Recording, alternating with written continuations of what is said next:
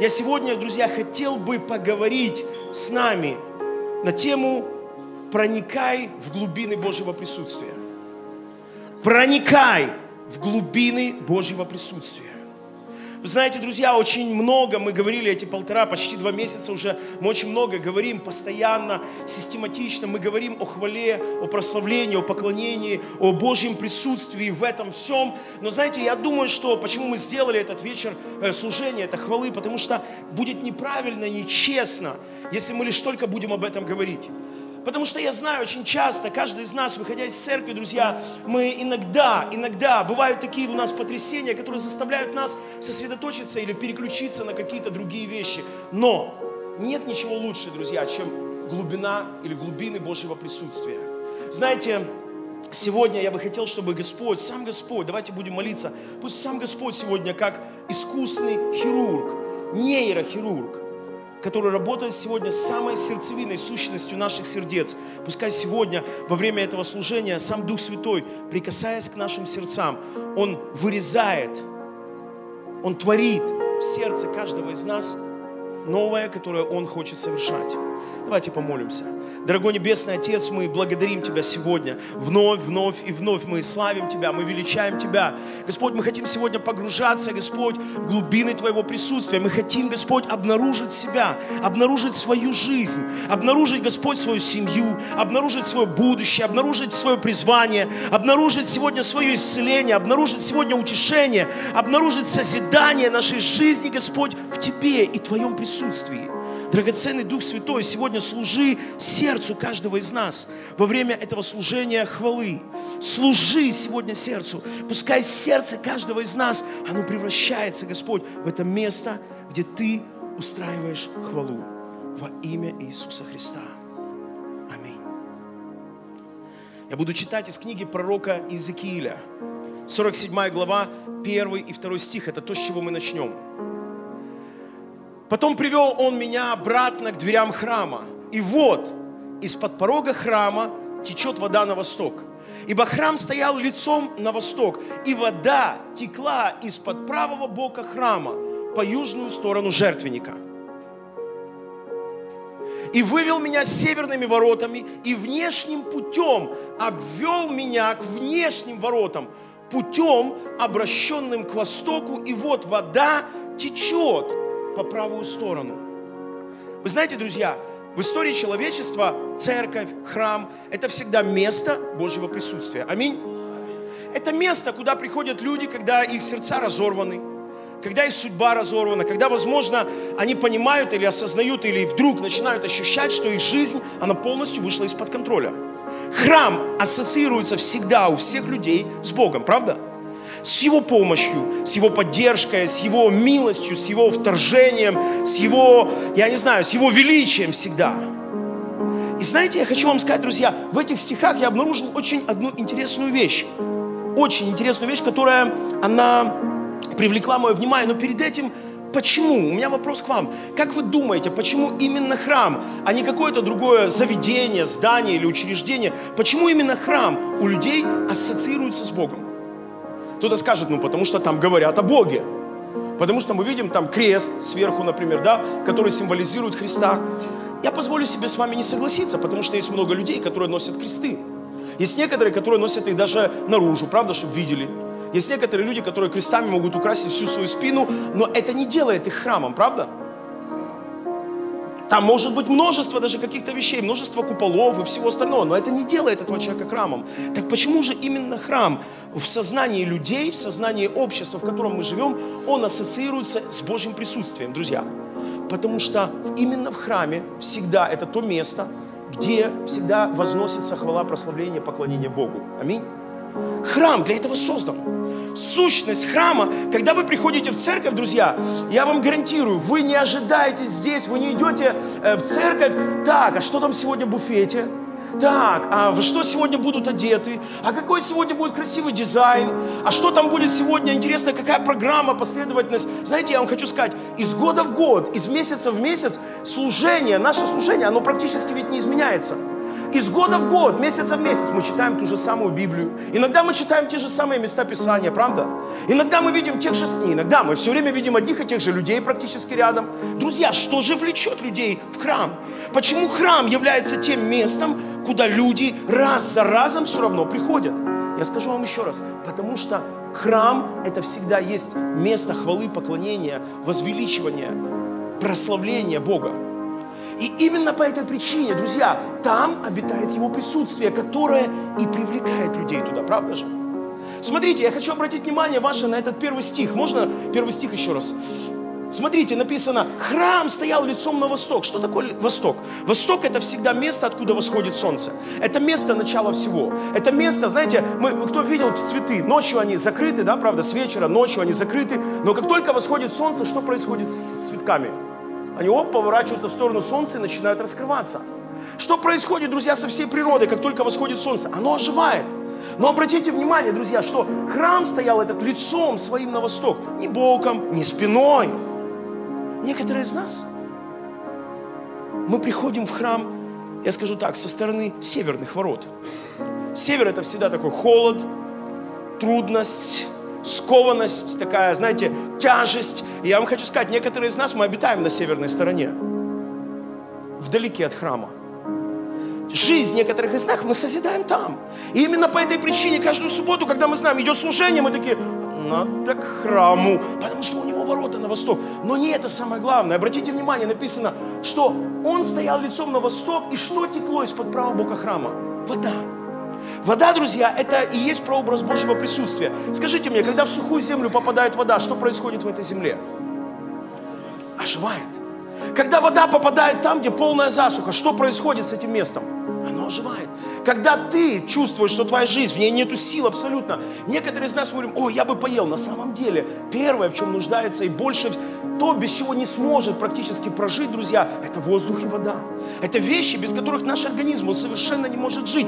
И не зря именно поэтому, обратите внимание, он говорит, что из-под храма текла, текла эта вода, она вытекает оттуда. И знаете, именно это, друзья, всегда привлекает людей в храм. Потому что когда они приходят в храм, когда мы приходим в храм, храм, испытывая внутреннюю потребность изменении жизни, мы встречаемся, мы сталкиваемся там именно с этой водой.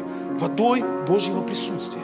Оно наполняет нашу жизнь. Если что-то в твоей жизни, сердце где-то там засохло, это вода Божьего присутствия. Она освежает, она приносит. Если где-то внутри ты чувствуешь, что э, я уже стал злой, раздражительный, семья не такая, жена не такая, и все не такие, и правительство не такое, ты приходишь в храм, и если действительно ты приходишь туда, и ты соприкасаешься с этой водой, вдруг эта вода впервые, она начинает оживлять тебя.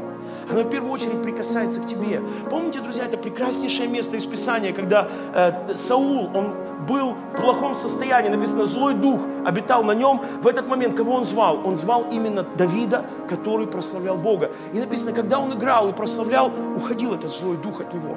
Это то же самое происходит, друзья, в храме. Но я хочу сегодня, знаете, чтобы на этом служении, на этом служении хвалы и поклонения, каждый из нас мы поняли – что эта речь должна идти не только лишь об этом храме, а знаете, о каком храме в первую очередь? О храме нашего сердца. Это из-под моих, друзья, это отсюда, из моей жизни, из моего сердца. Бог хочет, чтобы отсюда текла хвала. Он хочет, чтобы моя жизнь, она стала местом, с которым люди, соприкасаясь, они будут соприкасаться с этой живительной влагой Бога, с живительным присутствием, оживляющим присутствием Бога. Знаете, вначале, помните, я сказал, что мне жизни верующих иногда напоминают подводные лодки, которые на неделю после субботы, они уходят в глубоководное плавание, где они совершенно не дышат ничем, и они ожидают субботы, чтобы выйти туда и хапануть этого воздуха Божьего присутствия. Но хочу сказать вам, друзья, в этом храме не только в воскресенье или в субботу, не только в день, когда было служение, вода текла из-под его ворот. В этом храме вода текла постоянно. Именно по этой причине Бог говорит об этом. Он взял Иезекииля, Он приводит его к этому храму. Не зря же Он привел его туда. Он говорит, смотри, увидь, учись, обнаружь о том, что именно этот храм, в нем я обитаю. Друзья, сегодня этот храм, сегодня этим храмом можем быть каждый из нас с вами. Смотрите, солнце, написано, храм стоял лицом своим на восток. Место, откуда восходит солнце. Место, откуда, это восточная сторона, она всегда первая встречает рассвет. Она всегда первая встречает самые первые лучи солнца. Она первая получает эту жизнь, которую приносит Бог. Я хочу вам прочесть одно интересное место из Писания, друзья. Э, книга пророка Малахии, 4 глава, 2 стих. А для вас, благоговеющие, перед именем моим. Что означает благоговеющие? Те, которые способны ставить Бога впереди.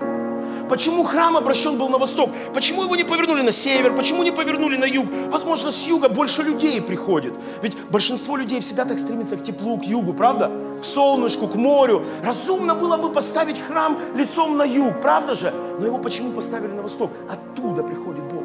И смотрите, что он говорит. Для вас, благоговеющие, те, чей храм жизни способен ставить Бога в первую очередь, ориентироваться на Него, отталкиваться от Него, смотреть на Него, Он говорит, взойдет солнце правды.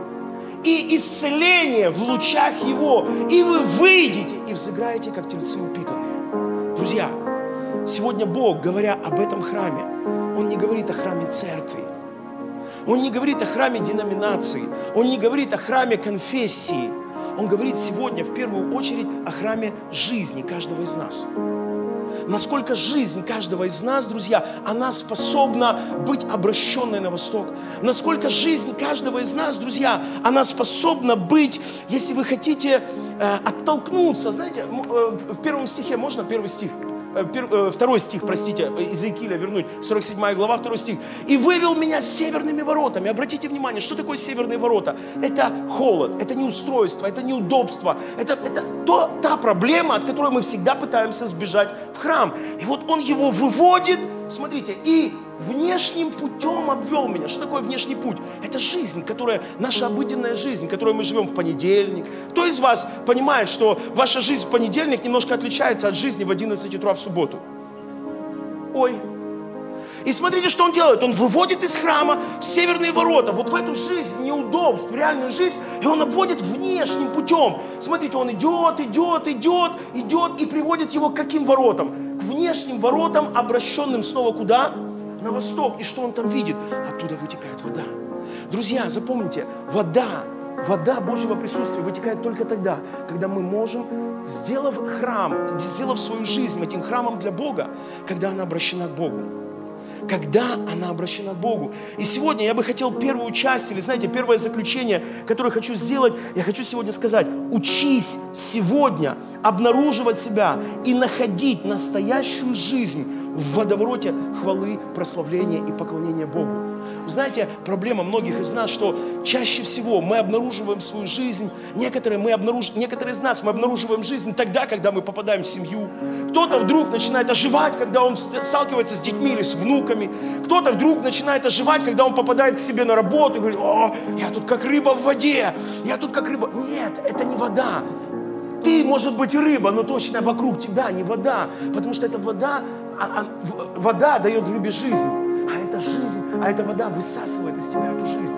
И только когда мы приходим в Его присутствие, друзья, сегодня я бы хотел, чтобы каждый из вас попробуйте здесь во время хвалы и поклонения выйти на те северные ворота, анализируйте, подумайте, молитвенно размышляйте о своей жизни понедельник, во вторник, в среду, в четверг. Неужели она настолько вас вдохновляет, когда в ней нету Бога?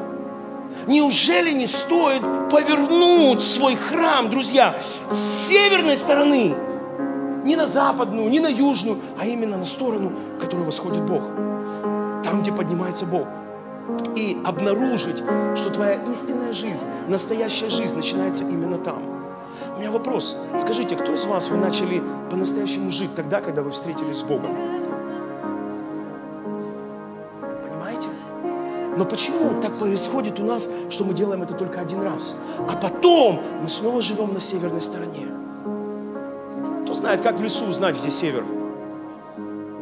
Там деревья поросли мхом. Так же, друзья, точно так же бывает и с храмом нашей жизни. Выходишь ты однажды утром на крылечко своего сердца и смотришь, а там все мхом поросло. Мхом работать надо. Война. Бежать деньги, с детьми проблемы. Что мне делать? И ты выходишь и кричишь на северной стороне храма, Боже, где ты? Кто мне скажет, где он? Он на восточной стороне храма, потому что оттуда течет его вода. Я хотел бы сегодня, друзья, чтобы каждый из нас во время этого служения хвалы мы начали созидать этот храм. Начните сегодня созидать храм своей жизни. Начните строить сегодня этот храм. Поверните его уже раз и навсегда к месту, откуда приходит Бог. И пускай Позвольте Богу, Духу Святому сегодня проникать во время этой хвалы и поклонения в ваше сердце, чтобы оттуда, Библия говорит, вода, которую я дам тебе, ты больше никогда не будешь ее жаждать. Но она сделается в тебе источником, который течет в жизни многих людей. Друзья, сегодня Бог, Он хочет устроить этот храм в жизни каждого из нас с вами. Аминь. Есть кто-нибудь, кто готов действительно созидать сегодня в этой хвале вместе с Богом? Хвала – это время, друзья, знаете, это время, когда ты забываешь обо всем. Я вообще обо всем забываю. Единственное, что меня иногда отвлекает, то, что мне нужно сюда выходить периодически. Вот это меня отвлекает очень сильно. Вышел, но я хочу туда. Знаете почему? Потому что там мой, восточная сторона моей жизни. Именно там, когда начинается хвала, когда начинается поклонение. Есть кто-нибудь сегодня, друзья, кто готов это делать? Давайте поднимемся, мы будем продолжать славить Его, но начнем с молитвы. Давайте мы сейчас будем просить каждый, Господь, сотвори этот храм, сотворяй мою жизнь сегодня этим храмом, Боже. Во имя Иисуса Христа, Боже, твори мою жизнь этим храмом. Созидай этот храм, Господь, моей жизни.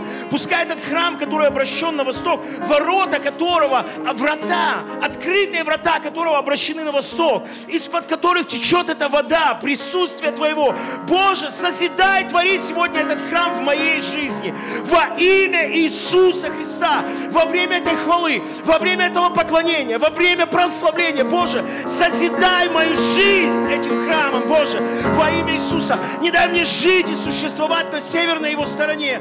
Господь, обрати, обрати мое сердце, Господь, к этим восточным воротам, куда приходишь Ты, где Ты встречаешься с самого раннего утра с сердцем каждого из нас. Боже, созидай сегодня этот храм, сотвори сегодня этот храм в сердце каждого из нас, Боже. Созидай в лучах этой славы. Созидай в лучах этого солнца правды, Бог.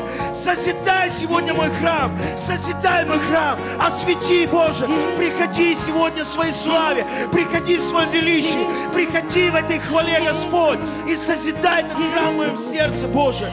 Благодарю Тебя. Славлю Тебя. Величаю, Господь, Тебя. Во имя Иисуса Христа. И весь народ, вся церковь, весь, все храмы Божьи да скажут Аминь. Аминь. Я бы снова хотел, друзья, обратить наш взор к этому месту из Писания. Книга пророка Иезекииля, 47 глава, 3 и 4 стихи. Когда тот муж пошел на восток, то в руке держал шнур и отмерил тысячу локтей и повел меня по воде. Обратите внимание, друзья, на эти простые слова. Он повел меня по воде. Только что стихом ранее мы читаем о храме, из-под ворот которого, куда входит, откуда, куда приходит, который встречаются с Богом, оттуда вытекает вода. И вот уже этот муж, который является, я, я уверен, убежден, что это есть Бог, это прообраз самого Бога, он повел меня по воде. Воды вначале было по лодыжку. Четвертый стих и еще отмерил тысячу и повел меня по воде. Воды было уже по колено. И еще отмерил тысячу и повел меня. Воды было по поясницу. Вы знаете, друзья, когда человек, любой человек, любой христианин начинает, доверяясь Богу, э, отдавать свою жизнь, чтобы Бог из этой жизни устроял храм, каждый такой человек, он знать должен, и он должен понимать о том, что он столкнется с одной очень большой проблемой. Знаете, какой? Суета занятость и давление этой жизни никогда в жизни не отпустят тебя. Дьявол готов даже тебя отпускать в церковь, но он никогда не готов. Он готов позволить тебе один день быть с Богом, два часа, три часа, будь с Ним, но потом он направляет всю свою суету, все оружие, которое у него только может быть, он будет направлять ее, знаете для чего? Вырвать тебя оттуда. Если ты действительно сегодня принимаешь решение или принял решение посвятить свою жизнь, сделать свою жизнь этим храмом, о котором мы читаем здесь, друзья, следующее действие, которое нужно научиться делать каждому христианину, позволить Богу увлечь вас за собой. увлекать. Вы знаете, сколько раз я замечал, когда э, идет хвала, прославление, что-то где-то моргнул свет, и ты, кто замечал за собой сразу так-то, опа, и ты, чук, все. Где-то кто-то пошел, что-то где-то грюкнул, о, а, сразу туда, мгновенно. Знаете почему? Дьявол всегда хочет только одного. Он хочет, чтобы ты мгновенно пошел, а, смотрел, где что, как там, а где что происходит. А где? Мгновенно это происходит. Вы знаете, есть одно прекраснейшее место в Библии. Иисус говорит эти слова. Это Евангелие от Матфея, 6 глава, 34 стих. Итак, не заботьтесь о завтрашнем дне, ибо завтрашний сам будет заботиться о себе. Знаете, многие люди, читая это место из Писания, они превращаются в таких, знаете, христианских э, лодырей и лентяев. А завтрашний день сам будет заботиться. Нет, друзья, здесь вообще не об этом речь. Если вы христианин, вы должны трудиться. Вы должны трудиться так, как трудился Иисус Христос, будучи на кресте. Вы должны трудиться так, как трудился Иисус, будучи в Гефсиманском саду. Вы должны трудиться так, как трудился Иисус, когда Он проповедовал пяти тысячам, когда Он проповедовал, когда Он служил, когда мы видим Евангелие от Марка, Он всю ночь пробыл в молитве, пришел к ученикам, они говорят, там много людей, Он не, ну, не поспав, встает и идет им служить. Христос не был лентяем. О чем говорится в этом стихе? Смотрите последнюю его часть довольно для каждого дня своей заботы. О чем идет здесь речь? Речь идет о том, что каждый день он наполнен своими заботами. И цель этих забот, знаете какая? Совлечь тебя с пути совлечь тебя с пути, когда ты позволяешь Богу свою жизнь, позволяешь Богу сделать храмом. Храмом, из которого течет Его присутствие, в котором пребывает Его присутствие. Заметьте, у кого это бывало такое? Понедельник – совершенно другие ощущения. Во вторник – тут другие. И к субботе, опять же, говорю, ты как эта подводная лодка всплываешь. Мы об этом еще будем говорить, о том, как созидать свою жизнь в Его присутствии, как строить жизнь, повседневную жизнь. Но самое главное, запомните простой момент. Друзья, для каждого дня довольно, достаточно Его заботы. О чем говорит здесь Бог? Он говорит, забот достаточно, но то, на чем необходимо быть сосредоточенными, на Нем. Научиться в повседневной жизни быть сосредоточенным на Нем. Смотрите, можно вернуть 47 главу Иезекииль 3, 3 э, стих. Смотрите, что он здесь делает. Когда муж пошел на восток, он отмерил тысячу, и что он сделал? Он повел меня по этой воде. Бог, друзья, когда он приходит в своем присутствии, ему недостаточно, знаете, как некоторые такие, о, торкнуло, все, слава Богу, коснулось. Или знаете, такой, ждал, ждал, не сложилось сегодня. Друзья, Бог приходит всякий раз, когда Он находит сердце, которое готово пойти с Ним. Тысяча локтей на секундочку, друзья. Один локоть – это полметра. Тысяча локтей – это 500 метров. Он повел тебя 500 метров, друзья. Это даже не Азовское море. Там ты пройдешь метров 100, хотя бы уже по колено будет. Здесь он говорит, 500 метров он повел меня, и воды было только пока по лодыжку. Четвертый стих. Дальше, смотрите, он говорит, еще отмерил тысячу. Смотрите, он не останавливается. Как часто мы останавливаемся в хвале. Сколько там уже две песни? Ой, сегодня что-то я уже, ножки меня подустали сегодня. А 8 часов они не устают? Это же святое. Там же зарплата будет в конце. Друзья, Бог, смотрите, Он говорит, и повел меня дальше, воды было уже по колено, и еще отмерил тысячу. Полторы тысячи метров, друзья, полтора километра. Ты идешь по воде, и ты по чуть-чуть, по чуть-чуть, по чуть-чуть, постепенно ты погружаешься к этому. Я хочу прочитать вам одно место из Писания, еще одного из пророков, друзья. Это книга пророка Еремии, который попал, поверьте, в похожую ситуацию. Он попал в ситуацию, если вы прочитаете всю эту главу, это 20 глава, Еремея попал в ситуацию, когда все его возненавидели. Кто читал, Еремея это был один из пророков, который, знаете, его как не позовут пророчествовать, он приходит и говорит, вы попадете в плен, все будет плохо. Знаете, он был пророком, которого не любили цари. И однажды он договорился. Однажды он попал в проблему, когда ему сказали, все, на этом закончена твоя жизнь уже. Ему сказали, или ты пророчествуешь нормально, или у тебя будут проблемы. Читаем, друзья. Смотрите, что пишет Еремия. После того, как его поставили, уже прижали к стене, он говорит, ты влек меня, Господи, и я влечен. Как редко сегодня это встретишь, друзья, в мире христианства. Когда тебя влекет Бог в поклонении – увлечься, не стоять. Смотри, он говорит, ты влек меня, ты вел меня 500 метров. И там воды пока по лодыжку, но я иду. Ты еще 500 метров по колено, а я продолжаю идти. Ты влечешь меня, и я увлечен. ты сильнее меня и превозмог, и каждый день в посмеянии всякий издевается надо мной. Вы знаете, друзья, у многих верующих есть такая интересная формула их христианства. Они очень любят Бога, когда в их жизни все достаточно неплохо. Или когда бывает плохо, но они помолились Богу, зашли по колено и почувствовали, что ответ есть, и им классно. Друзья, что мы читаем здесь? Мы видим здесь Иеремию, который он говорит, я каждый день нахожусь в посмеянии. Слушайте, он славит Бога, и он в посмеянии. Он поклоняется Богу, и он продолжает быть в посмеянии. Он, он, он расшибается в этой хвале. И он говорит, всякий издевается надо мной. Но что ключевое здесь? Ключевое, друзья, это первая часть стиха. Ты влек меня, Господи, и я увлечен тобой. Позволить Богу, друзья, если вы действительно хотите построить жизнь, жизнь Божью, жизнь христианина, которая созидается в хвале и поклонении Богу, в Его присутствии, вам нужно научиться, кроме того, что вы предоставляете Богу свою жизнь, чтобы Он созидал из нее храм Его присутствия, вам нужно научиться быть увлеченным им даже тогда, когда в вашей жизни ничего не говорит о том, что что-то меняется. У кого бывало такое? Вы молитесь, ничего не меняется. Вы молитесь еще, ничего не меняется. Вы берете пост, вы молитесь еще, и все становится только хуже. И в этот момент многие говорят, хватит. Зачем? Тогда у меня вопрос к вам. Как вы думаете, Бог приходит в своем присутствии в храм, потому что у нас есть нужды и проблемы, или Он приходит в храм тогда, когда мы Его славим? Его присутствие приходит не на наши проблемы, его присутствие приходит там, где Он видит хвалу. Бог суверенный. Я очень хотел бы, друзья, чтобы каждый из нас сегодня мы взяли и усвоили для себя вот этот второй простой урок. Я записал себе его так. Почему бы тебе не позволить сегодня Богу увлечь тебя в хвале и поклонении дальше и дальше в глубины Его присутствия? Почему бы тебе не попробовать это?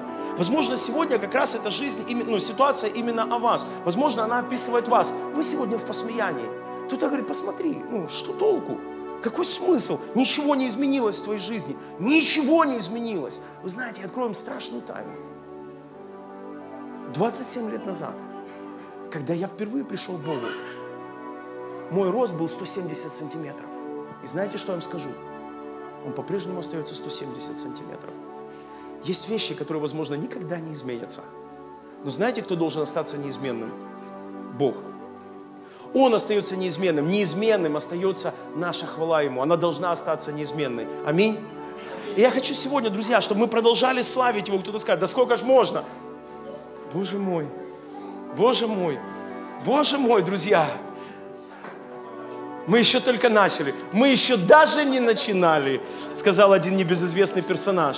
Так вот, друзья, задумайся. Ведь именно в самые сложные моменты мы и учимся доверять Богу. Смотрите, идти в поклонение дальше, доверяться Богу в самые сложные моменты нашей жизни. Аминь.